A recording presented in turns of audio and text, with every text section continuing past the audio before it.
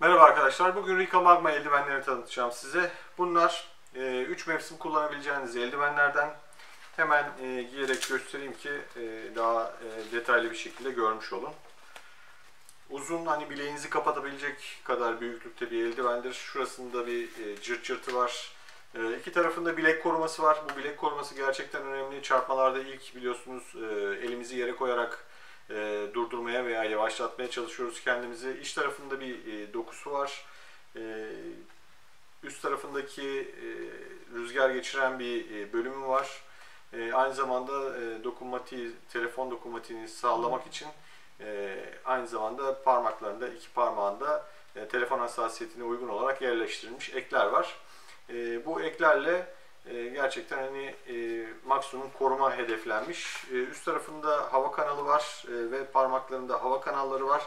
E, soft korumalara sahip bütün eklem yerleriniz e, ve burada hava alabilir yerleri var. Özellikle e, yumruk bölgesinde çok iyi bir korumaya sahip. Dediğim gibi hava alabilir bir eldiven e, bileğinize tam olabilmesi için de burada lastikli bir kumaş kullanılmış. Ee, şöyle biraz daha detaylı olarak gösterebilirim. Baş parmağında da ekler var. Bu e, düştüğünüz zaman en az zarar görmeniz için yapılmış bir eldiven. E, bunun birçok çeşidi var. E, bunlar renk çeşitleri, şunların ikisi renk çeşitleri. Kendi motorunuza veya giyiminize göre gelip buradan alabilirsiniz. YouTube kanalımızı izlemeye devam edin arkadaşlar. Yine önceden tekrarladığım şeyi tekrarlayayım.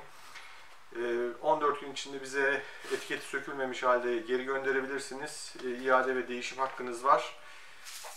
Ee, başka bir eldiven seçebilirsiniz istiyorsanız. İnternet sitemizden seçebilirsiniz. Mağazamıza gelip e, doğrudan elinize oluyor mu diye e, oradan seçebilirsiniz. Ayrıca şunu söyleyeyim, her ürünün altında beden ölçüleri e, bölümü var. O beden ölçüleri bölümünden hani elinizin çevresini nasıl ölçeceğinizi, bu eldivenlerin sizin elinize olup olmayacağına bakabilirsiniz. Hepinize iyi sürüşler.